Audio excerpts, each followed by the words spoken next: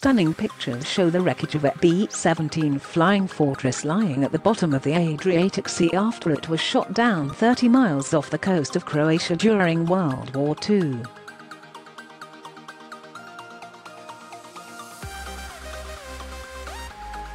The Boeing aircraft was on a bombing mission to Vienna when it made its final journey on November 6, 1944.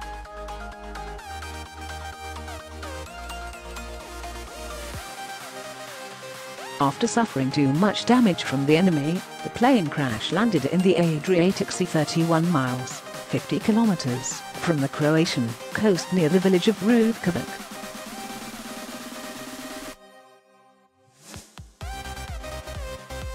Jaw-dropping images show the wreckage of the plane over 70 years later as it remains intact.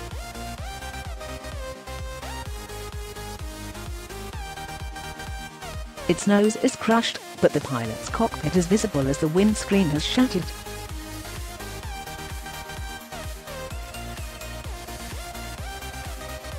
The plane's wheels are starting to sink into the seabed, raising questions of how long the wreckage will remain before disintegrating.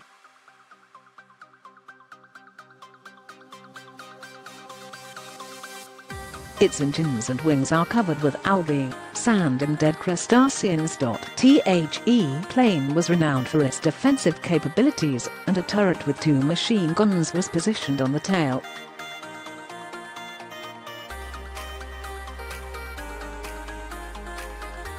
The sturdy four-engine aircraft was built in the 1930s for the United States Air Army Corps, USARC, during a period when twin engines were the norm.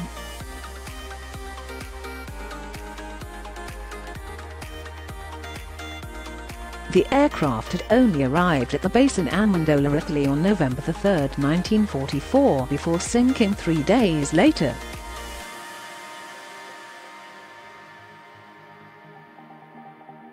After unloading its cargo on the fateful day, the plane was hit by German air defense over Slovenia, so the pilot veered towards Vis Island which was the closest Allied airport.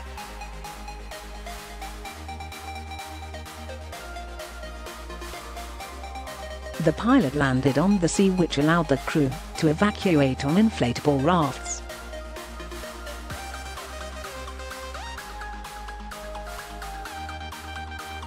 Company pilot U.S. Army Air Force Second Lieutenant Ernest Vinneau died at the scene as the crew couldn't rescue him in time before the aircraft filled with water and sank.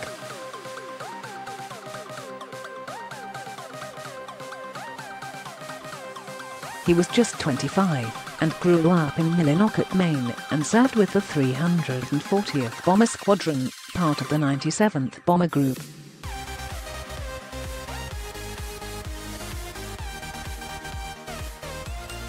The remains of the B-17 on the Adriatic seabed is one of the best preserved World War II plane wrecks due to its depth of over 60 meters, making it difficult for divers to reach.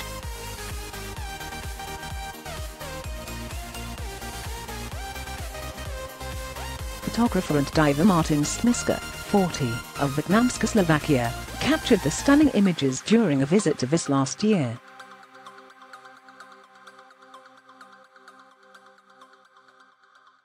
It's basically untouched, the feeling of being under there is quite overwhelming.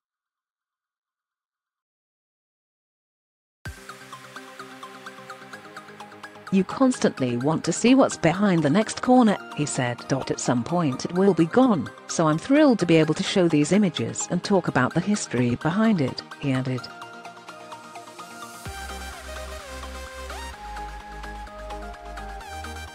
Along with the B-17, Mr. Strmiska also photographed a fallen B-24 Liberator, nicknamed Tulsamerican which was discovered in 2009.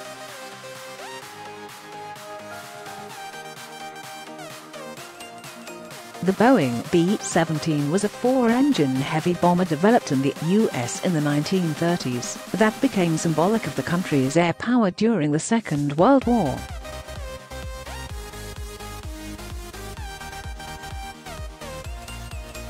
Looking to replace Martin B-10, the USARC United States Army Air Corps tendered a proposal for a multi-engine bomber that could reach an altitude of 10,000 feet and reinforce the country's air capabilities.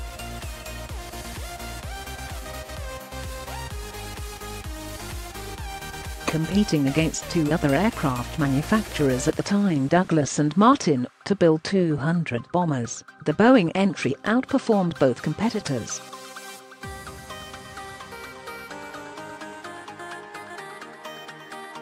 While Boeing lost out on the initial contract to Douglas because the company's prototype crashed, the USAC ordered a further 13 for evaluation before it was eventually introduced in 1938 after numerous design changes.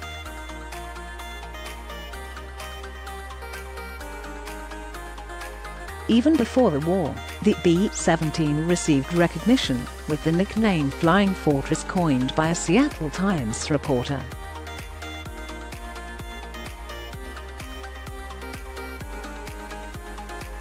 In January 1938, Group Commander Colonel Robert Olds flew a RIP-17 from the United States east coast to its west coast, setting a transcontinental record of 13 hours 27 minutes.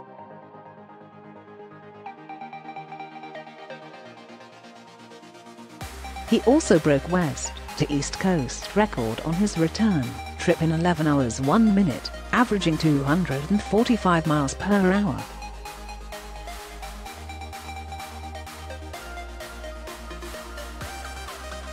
But the bomber was mainly used during the Second World War in precision daylight bombing campaigns against military and industrial targets to weaken Nazi Germany.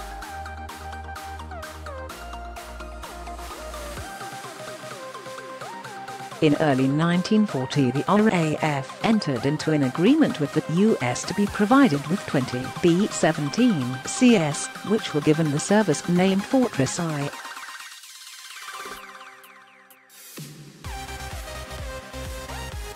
but their initial missions over Germany were unsuccessful. But they were widely used by American forces in the Pacific and in a succession of raids targeting German factories.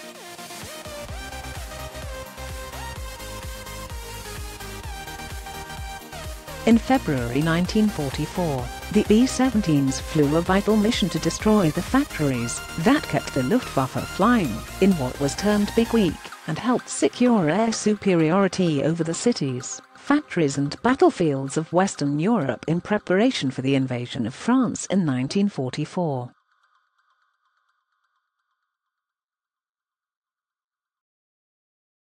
The Luftwaffe found it easier to attack a flying fortress head-on, and Americans coined the phrase bandits at 12 o'clock high as a result,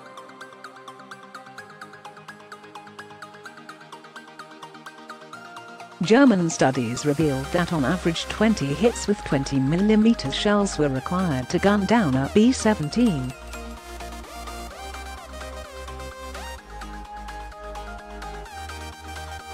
Forty B-17s were captured by the Luftwaffe. In or 3,500 B-17s were involved in bombing raids on factories in Germany,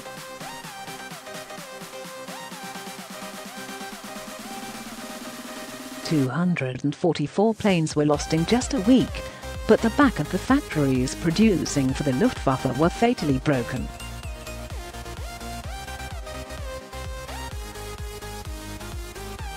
The B-17s were also used in the war in the Pacific earlier in the Second World War, where it conducted raids against Japanese shipping and airfield sites,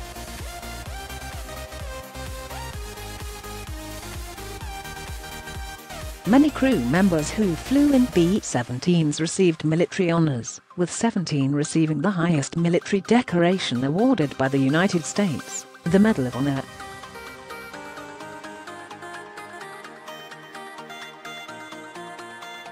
The B-17 went on to become the third most produced bomber of all time, behind the four-engined consolidated B-24 Liberator and the multi-role, twin-engine Junkers Ju-88, and dropped more bombs than any other aircraft in World War II.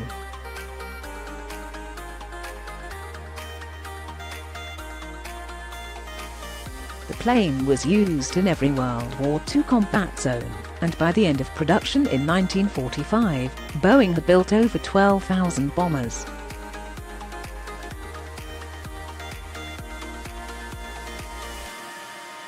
It dropped approximately 640,000 tons of bombs over Nazi Germany, over a third of the estimated one.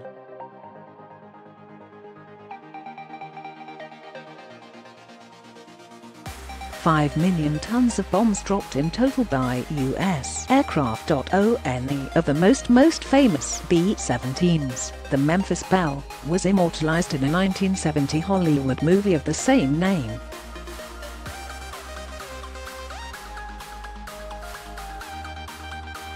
The bomber also featured in earlier films such as Air Force and 12 O'Clock High.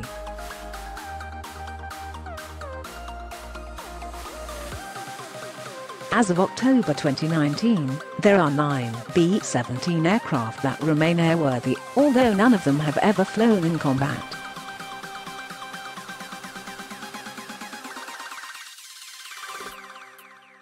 Dozens more remain in storage or on display is museums the oldest being a D series that flown in combat in the Pacific on the first day of World War II.